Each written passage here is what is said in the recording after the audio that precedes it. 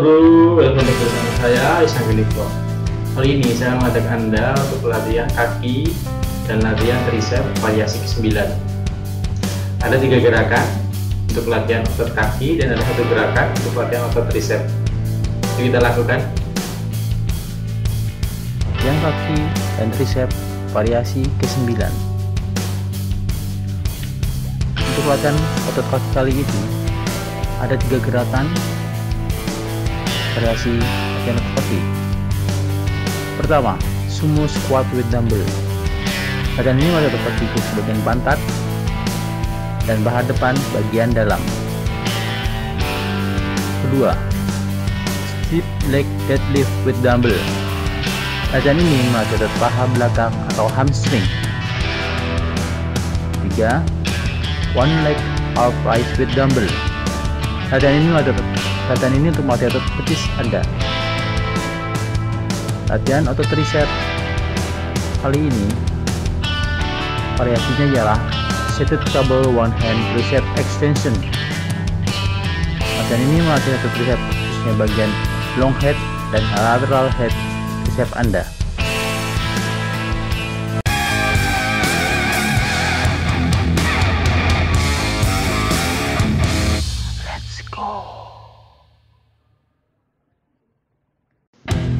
Latihan kaki variasi ke-9 Gerakan pertama, sumo squat with dumbbell.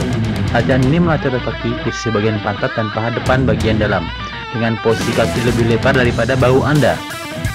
Dan memegang dumbbell satu buah Pegang dumbbell didapatkan pada dada Anda. Buang nafas saat posisi berdiri Dan tarik nafas saat posisi jongkok atau di bawah. Lakukan 3 set dengan 8 hingga 12 repetisi per setnya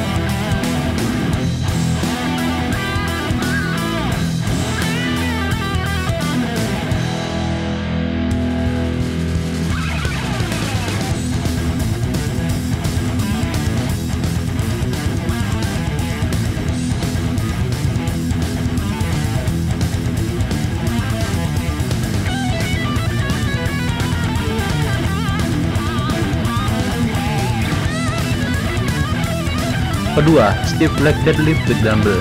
Latihan ini melatih paha belakang atau hamstring. Seperti halnya gerakan deadlift, namun kali ini dengan posisi kaki tetap lurus saat badan turun, baik saat mengangkat dumbbell maupun menurunkannya. Usaha, usahakan punggung tetap lurus tidak membungkuk dan pinggang tetap terkunci. Ada baiknya Anda menggunakan sabuk atau belt guna menghindari cedera lower back.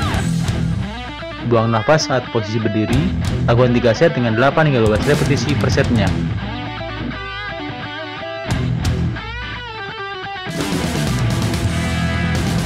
Ketiga, one leg calf rise with dumbbell. Latihan ini melatih otot betis Anda. Duduk di bangku dengan satu kaki menginjak pada plate atau bidang lantai yang cukup tinggi. Usahakan badan tetap tegak, teguk lutut hingga membentuk sudut 90 derajat dengan kaki yang satunya ditopang di atasnya. Taruh dumbbell pada atas kaki.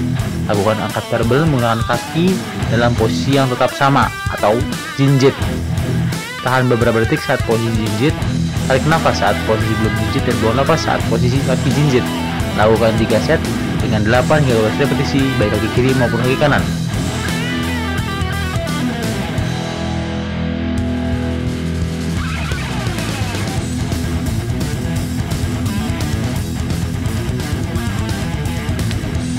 Latihan tricep, seated cable one hand tricep extension melatih otot tricep Anda khususnya bagian head dan lateral head.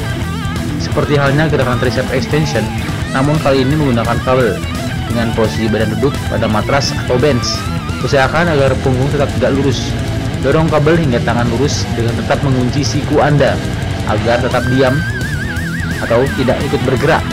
Buang nafas saat tangan lurus atas kepala Anda Lakukan 3 set dengan 8 hingga 12 repetisi per setnya, baik tangan kanan maupun tangan yang kiri.